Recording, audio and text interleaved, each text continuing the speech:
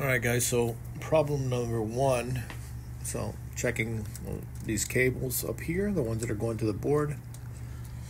You could see it says PCIe. So this does not go to the motherboard. This goes to the video card. I'm guessing the socket was the same, which I'm surprised. Usually those sockets are, you know, some of these are round and some are square, and they're made so that you can't plug them in. Maybe that's why you couldn't plug it into the primary. Not sure. So that's problema number one.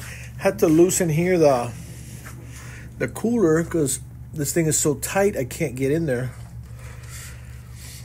I'm gonna disconnect that.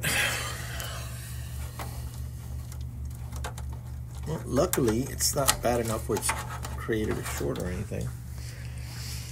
So we got, you know, from the power supply for the board to work, all you need is this 24 pin you want to take a look at that make sure it's in all the way. Sometimes i've seen it where you know they got it plugged in but it's not in all the way.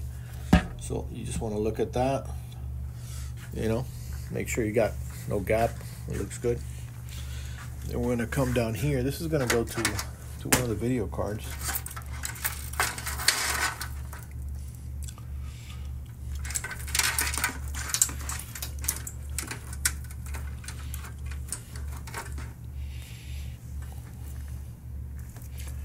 and you could see where this one.